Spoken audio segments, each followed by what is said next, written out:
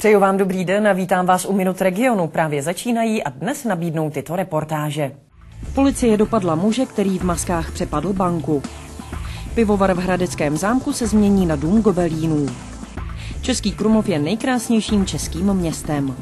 Jeho čeští kriminalisté chytili lupiče, který v maskách dvakrát přepadl spořitelnu v Nové Včelnici na Jindřichohradecku. Poprvé šel do banky v Dubnu ze Čerta a po druhé minulý pátek jako fantomas.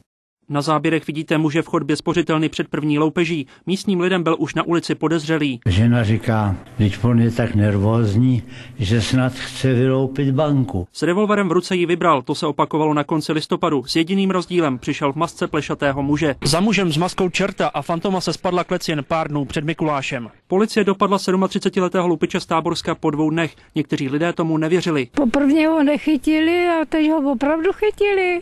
Nebo si děláte legraci? Policii pomohla všímavost lidí, zapamatovali si registrační značku auta, muž loupil kvůli dluhům. Pachatel si v obou případech odnesl souhrnou částku v řádech 100 000 korun. Podle našich informací to bylo asi 1,5 milionu korun. Safra, to je dost.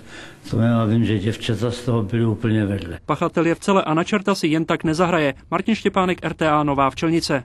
Čtyři české památky mají být zapůjčeny a nově využívány. V této souvislosti se ale mluví o možném tunelování. Jak to je, jsme zjišťovali na jedné z uvedených památek zámku v Jindřichově Hradci.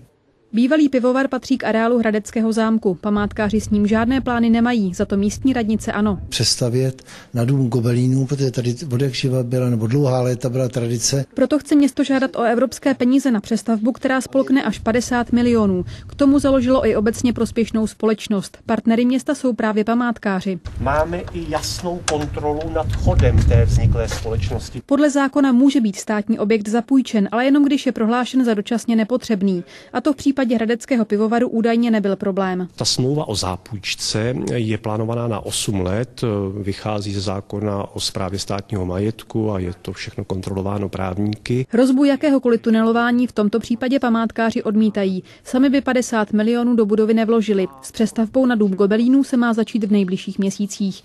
Jitka Bednářová, RTA Jindřichův Hradec. Spor kolem Dačické nemocnice už má první výsledek. Společnost PP Hospitals městu vrátila budovu bývalé léčebny dlouhodobě nemocných, veškeré venkovní pozemky a také energetické hospodářství špitálů. Oprava sedačkové lanovky na Zadově bude trvat několik dnů. Potřebnou součástku musí dovést až z Francie. Dráha, která je v provozu třetí sezónu, by se měla rozjet o víkendu. Při oltáře v Třeboňském kostele svatého Jílí mají novou tvář. Zrekonstruování si vyžádalo přes 3 miliony korun. Obnova vybavení tím ještě neskončila. V kostele denně funguje průvodcovská služba. Český Krumlov se stal 16. nejkrásnějším historickým místem na světě.